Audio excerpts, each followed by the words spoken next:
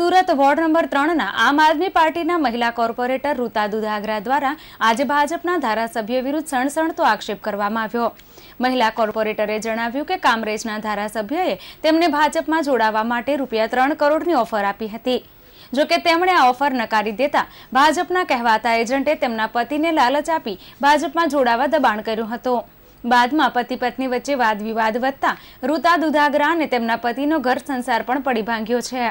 તેમના પતિએ ભાજપ પાસેથી પચીસ લાખ લીધાનો પણ આરોપ કરતા રૂતાએ કહ્યું કે હજુ પણ ભાજપ દ્વારા મારા પર દબાણ કરવામાં આવી રહ્યું છે. મહત્વપૂર્ણ છે કે કામરેજના ધારાસભ્ય હાલ વીડી ઝાલાવાડિયા છે. સુરત પાલિકા વોર્ડ નંબર ત્રણમાં આમ આદમી પાર્ટીના મહિલા ઉમેદવાર રૂતા દુધાગરા શહેરના તમામ કોર્પોરેટરોમાં સૌથી વધુ લીડ સાથે વિજયી જાહેર થયા હતા. હવે આ મહિલા કોર્પોરેટરે ભારતીય જનતા પાર્ટી અને કામરેજના ધારાસભ્ય વિરુદ્ધ પક્ષ પલટા માટે કરવામાં આવી રહેલા દબાણ સંદર્ભે આક્ષેપ કરતા રાજકીય હોબાળો મચી ગયો છે. આજે મહિલા કોર્પોરેટર રૂતાએ જણાવ્યું કે મારા ભવ્ય વિજયના પગલે છેલ્લા કેટલાક સમયથી કામરેજના ધારાસભ્ય અલગ અલગ માણસો મોકલી મને ભાજપમાં જોડાવા માટે ઓફર કરતા હતા. રૂપિયાની લાલચમાં ન આવતા પરિવાર દ્વારા દબાણ કરાવ્યું અને મારે છૂટાછેડા પણ લેવા પડ્યા છે. કામરેજના ધારાસભ્ય વીડી ઝાલાવાડિયાને પૂછતા તેમણે જણાવ્યું કે આ હળાહળ જુઠ્ઠાણું છે. પાયા વિહોણી વાત છે. રૂતા દુધાગરાને હું ઓળખતો પણ નથી. મારા વિશે બહારની આ વાત છે. મેં કોઈ જ ઓફર કરી નથી. મને આજે આક્ષેપ બાદ જાણવા મળ્યું કે તેના છૂટાછેડા થયા છે.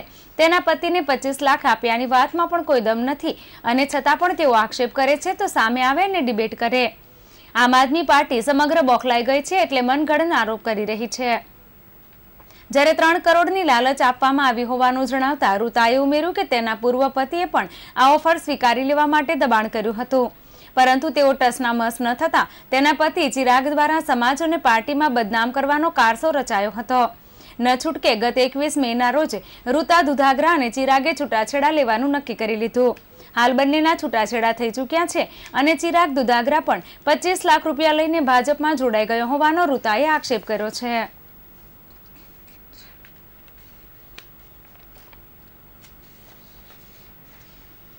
ની અંદર ત્રણ કરોડની ઓફર આવી છે કામરેજના ધારાસભ્ય તરફથી.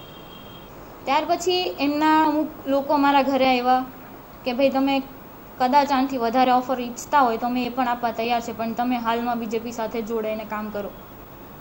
પણ અમે એ પણ ના પાડી છે.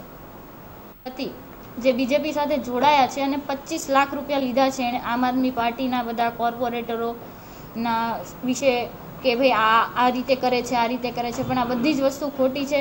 અને મારા ખિલાફ એ એનું ષડયંત્ર છે કે બીજેપી સાથે જોડાય અને મારા કેરેક્ટર ઉપર દાગ લગાવવાની આ બધી વાતો કરે છે?